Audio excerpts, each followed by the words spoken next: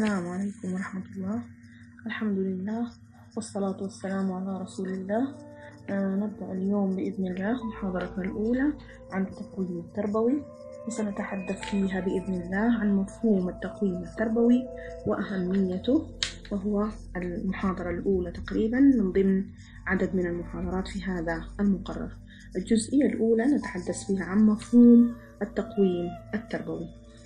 أولا نتطرق إلى المفهوم اللغوي لكلمة تقويم تربوي. يقال آه، أن تقويم أو قوم لغة مصدرها تقويم أي عدل الشيء أو أصلح اعوجاجه. وقد ورد في القرآن الكريم قوله تعالى أعوذ بالله من الشيطان الرجيم. ولقد لقد خلقنا الإنسان في أحسن تقويم. في سورة التين الرابعة. صدق الله العظيم. كذلك اصطلاحا يعرف التقويم بأنه عملية منهجية منظمة تقوم على تعديل وتوجيه وتشخيص وإصلاح العملية التربوية بكاملها. بما يحقق أهدافه ومقاصد الموضوعة سلفا. إذا عملية التقويم تشتمل على تعديل توجيه تشخيص وإصلاح. أربعة مفاهيم العملية التربوية. كذلك يقصد أن تعرف عملية التوقيم بأنها إصدار حكم على قيمة الأشياء أو الأشخاص أو المواضيع. وهو بهذا المعنى يتطلب استخدام للمعايير والمستويات لتقدير هذه القيمة كما يشمل تحسين تعديل تطوير. كذلك يعتمد على هذه الأحكام. عملية التقويم هي عملية منهجية منظمة تقوم على أسس علمية وتستهدف إصدار حكم بدقة وموضوعية على عناصر العملية التعليمية جميعها مدخلات عمليات مخرجات كل الأشياء. إذا تشتمل تعديل سلوك تشتمل تقويم معلم منهج مؤسسة أفراد تجهيزات توجيه لسلوك المتعلم إلى الأحسن حسب الأهداف الموضوعة تشخيص لجوانب القوة. كل هذه الأشياء هي جزء من هذا المفهوم. نتحدث الآن عن العلاقة بين التقويم التربوي والتقويم التعليمي. هنالك تداخل كبير بين المفهومين التقويم التربوي والتقويم التعليمي لدرجة أن بعض الأفراد لا يفرقون بينها فيستخدمونهم كمعنى واحد. المفهومين مترادفين قليلا لكن المتأمل في المصطلحين يجد الاختلاف وهو ينشأ من الاختلاف بين مفهوم التربية ومفهوم التعليم. إذا نظرنا إلى هذه هذين المفهومين يتبين لنا أن التربية تتميز بالعموم بالشمول بالاتساع تتعدى إلى ما يحدث داخل المؤسسات التعليمية إلى ما يحدث في مؤسسات مجتمعية أخرى كثيرة. داخل المدرسة خارج المدرسة داخل البيت خارج البيت المسجد منظمات المجتمع المدني الأخرى بجانب أنه يشتمل على تنمية جوانب أخرى متعددة لدى الفرد لا تشتمل فقط الجانب السلوكي أو الجانب التعليمي. أما مصطلح وكذلك يقوم بها أفراد آخرون لا يجب أن يقوم بعملية التربية المعلم فقط وإنما المعلم جزء فيها الآباء جزء فيها جماعة الأقران جزء فيها المسجد وجماعته جزء فيها المجتمعات الأخرى والأشخاص الذين يحتك بهم الفرد في حياته اليومية جزء فيها. المجتمع جزء فيها. آه، كل هذه الأشياء تؤدي إلى أن مفهوم التربية أكثر اتساعا من مفهوم التعليم حيث أن مفهوم التعليم أقل اتساعا من مفهوم التربية لأنه يشكل جزءا من العملية التربوية. الفارق بينهما في الدرجة ليس في النوع. التعليم يشمل تنمية جوانب تعليمية معلوماتية معرفية لدى الفرد بينما التربية تتعدى إلى جوانب أخرى. يقوم بالتعليم المعلم أو الشخص المعني بالتعليم والمؤسسة المعنية بالتعليم بينما التربية تتطرق إلى أشخاص آخرين وأفراد آخرين وجوانب أخرى. لذلك فأن التقويم التربوي والتقويم التعليمي علاقة ارتباط يترابطان ويلتقيان في مجموعة نقاط. مثلا أهمية كل منهما الهدف الأساليب الإجراءات الوسائل النظم لكنهما يختلفان في الميدان الذي يجري فيه التقويم العمومية والشمول كذلك يختلفان فيها.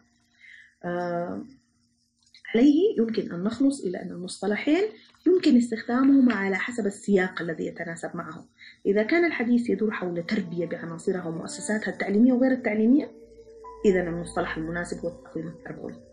إذا كنا نتحدث عن تشخيص علاج عناصر لعمل تعليمي بأي مؤسسة تعليمية محددة والحكم على مدى تحقق أهداف تعليمية لمنهج ما أو لعملية محددة المصطلح المناسب في هذه الحالة هو التقويم التعليمي هذه آه، فروقات بين التقويم التربوي والتقويم التعليمي أنشأها الفرق ما بين مفهومي التربية والتعليم.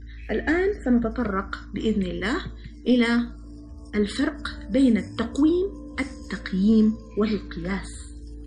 يقصد بمفهوم القياس وهو من الفعل الثلاثي قاس أي قدر. يقصد به آه، قياس العملية أو العمليات التي يتم من خلالها تحديد قيم الأشياء والفروق بين بصورة كمية أي أنها أبعاد تقاس بوحدات. مثلا درجة الحرارة تقاس مثلا بوحدة محددة الطول الوزن هذه الأشياء تقاس بمقاييس أو بوحدات محددة. هذه العملية تسمى عملية قياس. مثلا أن نقول هذا العمل أدق وأفضل من ذلك هذا يتضمن عملية قياس. يجب أن يتضمن عملية قياس لنحكم أو نقدر بشكل محدد. قياس سلوك شخص ومقارنة سلوك شخص بشخص آخر. مثلا قياس سمات إنسانية ذكاء تحصيل سمات شخصية. تتطلب أدوات قياس محددة وشروط خاصة ومعقدة. بخلاف القياسات الفيزيائية مثل الأبعاد والأوزان التي كنا نتحدث عنها قبل قليل. إذا القياس في مجال التربية لا يقتصر على جمع المعلومات والملاحظات وإنما يتعداها إلى التقدير الرقمي. لا يقتصر على الأشياء المادية فقط ولكن يمكن إخضاع ظواهر وأحداث للتقدير الرقمي سواء كانت مباشرة أو غير مباشرة. مثلا آه، في مجال التعليم يمكن تعريف القياس بأنه القيمة الرقمية التي يحصل عليها المتعلم في امتحان ما. مثلا حصلت الطالبة سارة على درجة مقدارها 75 في اختبار مقرر التقويم التربوي مثلا. هذا يعني أن التحصيل الدراسي الذي يعبر عنه رقميا أو كمية كميا هو عملية قياس يسمى التحصيل الدراسي. عملية قياس وصفي كمي. هذا هو القياس. نرجع الآن إلى مفهوم التقييم. هذا هو مفهوم القياس. أما التقييم آه، يقصد به بعملية التقييم والتي تدل على قيمة شيء.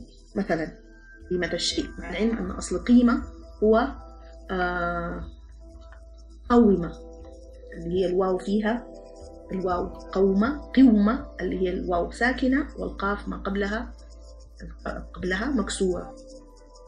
فتصبح قيمة. أو value.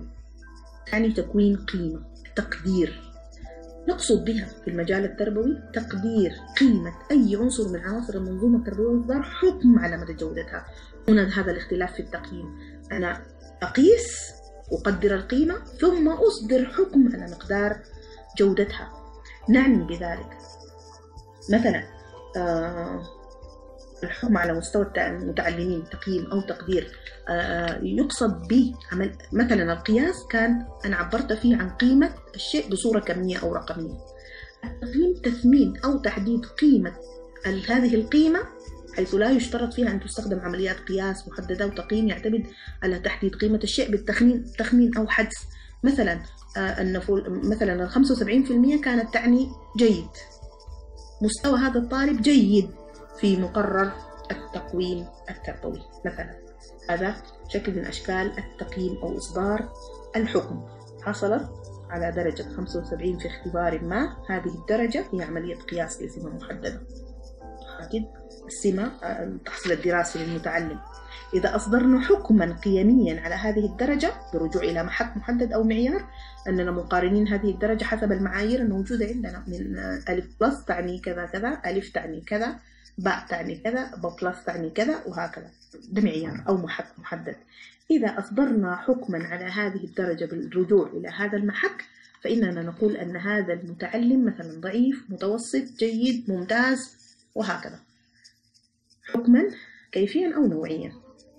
هذا يسمى عملية تقييم.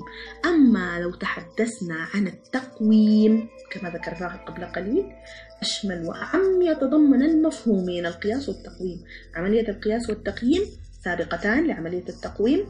التقويم يشتمل على جانبين تشخيصي وعلاجي. إذا يتضمن عملية القياس التي قمنا فيها بتحديد قيمة كمية رقمية محددة للسمة والصفة المقاسة ثم التقييم حيث قدرنا قيمة هذه القيمة التي حددناها في القياس وأصدرنا حكم عليها بدقة شخصناها ثم لا بد أن يلي ذلك العلاج لهذه العملية اللي هي تتضمنها عملية التقويم التي اشتملت على تقدير القيمة الرقمية وهي القياس ثم تشخيص أو الحكم على هذه القيمة الرقمية وهي عملية التقييم ثم تأتي عملية التقويم لتتضمنهما الاثنين معا وتنتج عملية تشخيص وعلاج محدد إذا عملية قياس وهي قيمة رقمية محددة تحديدها.